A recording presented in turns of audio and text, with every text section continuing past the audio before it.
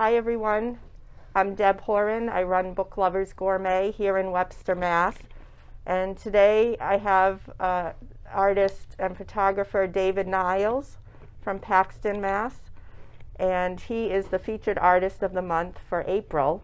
So his work will be on view here at the shop in the Cafe Gallery um, from April 1st through the 30th. And you can come in and see it anytime during our regular business hours, which are 10 to 5, Tuesday through Saturday. So, welcome, David, and we're happy to have you and host your Thank you. work.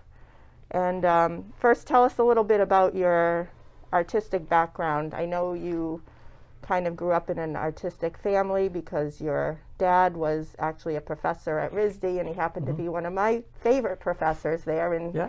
when I um, took illustration there.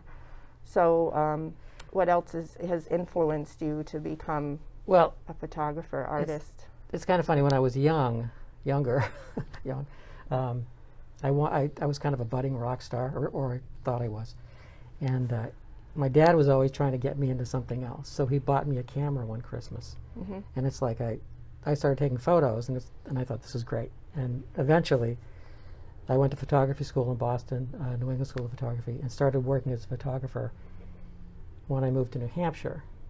And so I worked for the Portsmouth Herald. I had a business for a while as a photographer. And then years later, I decided I wanted to do something completely different. So I got into RISD for two years Mhm. and um, basically took every possible course that wasn't photography, even though I was a photo major. Mhm.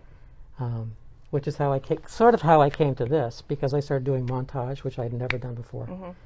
and I started doing video. Um, I took a bookmaking class at Winter Mm. Session, Mhm. you know. So um, Yeah, So, I yeah. took a stone carving class once yeah. just to be different, just to try something there new. was always interesting things at Winter Session. yeah. So um, but- so tell us about your process for, or this series of work that you've been. You call it Nate's Big Nate's Ad- Adventures. Adventures. Yeah. So so Nate is my son, um, and I started doing these probably, uh, gosh, it was at least eight years ago. Um, he's 18 now, and I was taking photographs that I had had already taken and putting Nate into these settings. settings. Yeah. And, you know, I, I would always see him playing in the yard, and I never knew. He, he has a great imagination, and I never knew what he was doing. hmm And sometimes he, he would invite a friend over when he was little, and they would be running around and talking and gesturing and doing all this stuff. And he never wanted to share with us what he was doing. It was like secret. We don't want to, you know. so, Yeah.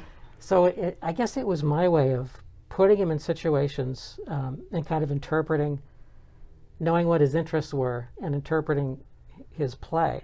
Mm. Um, although the thing that's kind of funny is that there's a lot of uh, dinosaurs in these images. And after I had done this for probably two or three years, he said, uh, "You know, Dave." He calls me Dave. He doesn't Uh. call me Dad. Okay. He says, "You know, Dave, I'm not really that into dinosaurs." Oh. So, but anyway, so here they are. Um, And what do you use as far as equipment for photographing or doing the collage or montage? so the the cameras vary because when I was, was first doing this, I had just a little point and shoot camera, Mhm. And then at some point I got a Nikon and um, started shooting with that. So, so basically they're all put together in Photoshop. And the, the one thing that happened, interesting, just to look at, um, like this image here.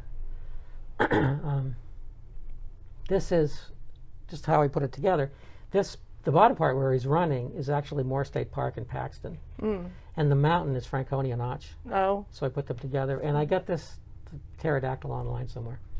hmm So there might be, you know, two or three images that are put together. There might be multiple images. hmm And if anyone is interested, please stop in and take a look at the work. Um, it is for sale, I believe. Yes. Yes. So uh, we are located at 72 East Main Street in Webster, and again, Book Lovers Gourmet. And you can stop in anytime during our business hours, 10 to 5, Tuesday through Saturday. Thank you. Thanks for watching.